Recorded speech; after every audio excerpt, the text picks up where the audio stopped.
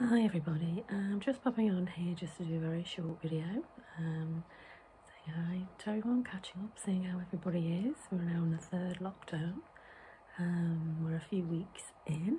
I don't know about you, but uh, yeah, it's getting a bit it's getting a bit harder the longer it goes on. So I thought I would just pop on and do a quick video giving you some um, reflexology tips to work on your hands. Um, what I'll do is I'll post this on my social media um, pages, um, hopefully on the website as well. Um, so this is called the Stress or Stress Busting Association of Reflexologists have also sort of produced um, some material which I'll try and pop on there as well, which gives you it in writing and pictures and things.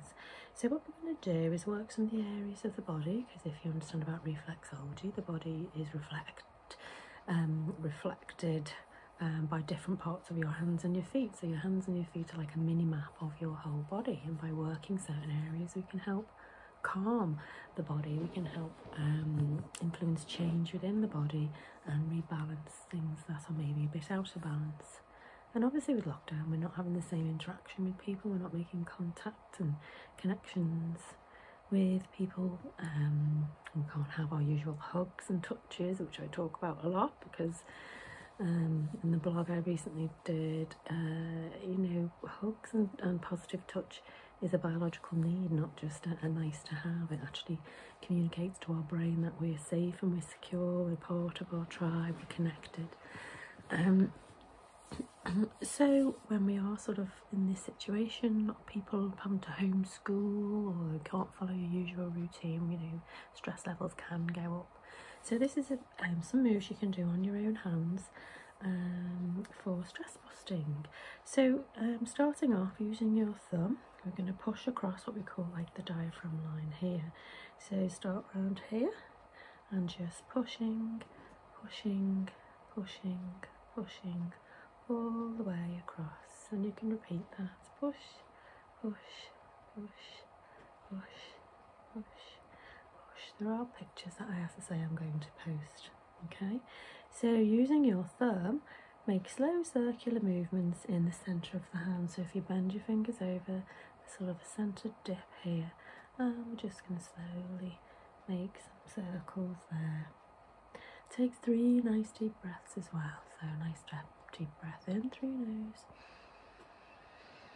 and out through your mouth. As you're doing the circling, breathe in through your nose and out through your mouth. So use your thumb, there's in the diagram it said that gives you different colours, pressing in and rotating over what's called the green circle. So this is your adrenal glands. So you might need to Sometimes if you're pressing quite deeply, you might actually find something that's quite sensitive. Sometimes you need to play around a little bit, but it's round about here. So circling that area as well. And your adrenals is obviously they're going to be overactive if we're quite stressed or adrenaline's pumping. So we just want to try and calm that area down. So that's what your focus should be. Again, you can do some nice deep breathing. Um, we're trying to calm our adrenals down.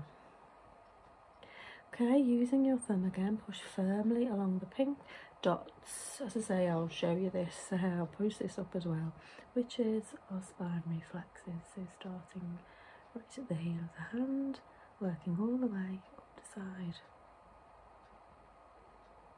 of the thumb, just making a pushing sort of movement all the way along that helps calm the central nervous system down, helps all the messages that are getting sent up to um, up and down the nervous system, up and down the spine, um, helps calm that down. So then we've got, uh, we're going to press over and rotate this part of the thumb, which is the pituitary gland. So just pushing in and rotating there. So we work on one hand, that's supposed to represent that side of the body, and then we swap and we do exactly the same on the other side. Um, so if you try and build that into your day, that should just take you a few minutes, maybe up to a maximum of five minutes. You can increase the breathing. Um, but most of all, just take care of yourselves. Don't beat yourself up if you can't fit everything in. You're not superhuman. But anyway, I hope you've enjoyed.